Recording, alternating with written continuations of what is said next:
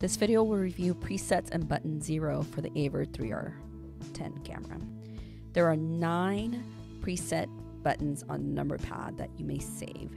A preset is a location that you determine and the camera pans and tilts and zooms back to that position.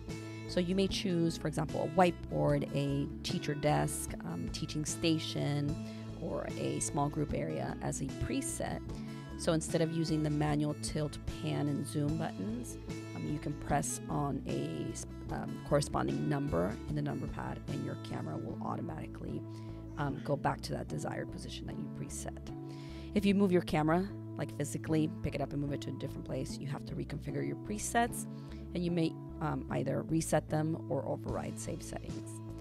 One tip is that the button zero has already been preset and button zero when you press it will point the camera straight and then zoom it out. How to save a preset. First, find the desired location in the class. Pan, tilt, and zoom to that desired location. Then, make sure you aim the control the remote control at the camera. Press the one for the camera unit. That's the white button at the top of the remote. So press one and you will see the one light up. Then now you're going to need two hands. First, press and hold the preset button. Keep it holding. Now tap the number for the corresponding number that you want to save the preset for and let go. After letting go of the number, the camera unit will blink once and then you release the preset button. Take some practice um, and if you see multiple blinks, you'll have to redo this, uh, the process again. One more time. Tap the number one for the camera unit, the white button. Press and hold preset button.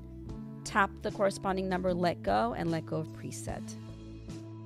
Let's pick up from the previous video. The camera is set at the whiteboard. Now I'm going to save that desired location. So select camera unit one, the white button, press and hold preset, tap the number, and then release number, and then release the preset button. Now I'm going to move the camera around. And actually, let me use zero. So this is what zero looks like. Zero aims the camera straight and zooms it out. Now I'm going to find a different location to save a preset for. And I'm going to aim at the table in front of me so let me pan and tilt and zoom. I'm to find that table. Perhaps this could be my teaching station and it's a place that I want my camera to um, pan back to and zoom in often during class. So here's preset one. The camera is moving, finding that whiteboard and zooming in on its own. And now I'm to click preset two, which is the table.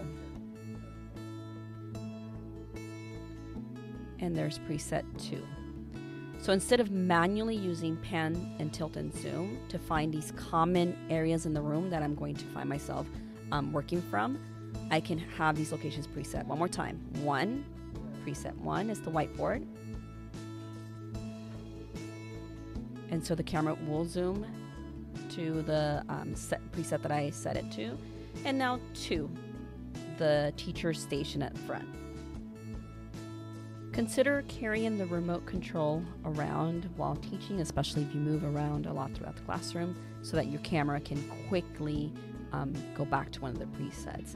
In addition, perhaps it may be useful to create a poster with the different presets so that when you are teaching, you can look up and reference the poster to know what your preset numbers are for. Thank you.